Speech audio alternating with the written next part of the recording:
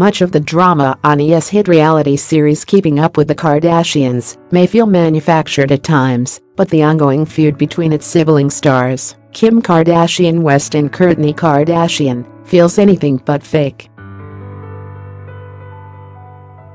Fans who tuned into the popular series Sunday witnessed the sisters engage in a verbal altercation as their younger sister, Khloe Kardashian, and mother of Kris Jenner were present. The argument stemmed from the eldest Kardashian sibling being disinterested in the planning of their family's annual Christmas card. The disagreement over the scheduling ultimately turned into an ugly attack on the Pretty Little Thing designer's work ethic. I'm not here to be mistreated by my effing BH family. Kim saying that I'm the least interesting to look at, who even speaks like that? You don't say things like that, a teary-eyed Kardashian, 39, said on Sunday's episode on a call with Khloe. You guys just have really different values than me. I choose to be a mother to my three kids. I'm not here looking for another job. I already work enough, more than I would like to. Kardashian West was present for Kardashian's phone call as well. You do whatever the FK you want to do, and you don't do ST, so be accommodating to the people that actually do ST, she spat. During the episode's Sunday premiere, the pair took their feud to Twitter. While the reason for their drama seems overly dramatic, the origins can be traced back to a 2013 episode of Kourtney and Kim Take Miami. At the time, Kardashian engaged in a similar fight that involved Kardashian West and her best friend, Jonathan Cheban. Instead of a family photo shoot, the 2013 argument centered around Kardashian not wanting to participate in a business project with her sisters. Due took two months off for the baby, Kardashian, 37, told her older sister. Are you going to wait until she's like 20 until you get back to work?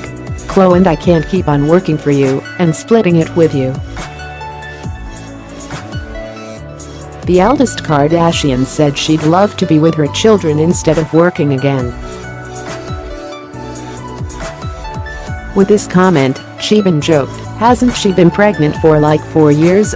This resulted in Cheban and Kardashian exchanging all-out war filled with harsh remarks about their work ethics and how they take advantage of Kardashian West's financial resources. The argument ended, however, with Kardashian slapping Cheban across the face after he made a low blow about her love life and how she makes a living. My job is not collecting Kim's money as it falls out of her ass. Without Kim you'd be nothing. All you'd be doing is chasing Scott Disick in nightclubs every night, Cheban, 44, said at the time. I don't know who told you that you're the queen of this castle, that you don't need to work. Kardashian West has been working for 365 days a year, while you've been pregnant and doing nothing. He dug deeper with his insult, adding, Scott's never going to marry you, you effing BH. By jumping forward to 2018, Cheban and Kardashian put aside their differences. Kardashian West and Kardashian, however, have yet to do so apparently. During Sunday's episode, the beauty mogul maintained that the dynamic trio is good. Prior to this, Kardashian suggested that her issues with both Kardashian West and the Good American designer are ongoing. She said the feud is a ladder to grow closer to younger sister Kendall Jenner.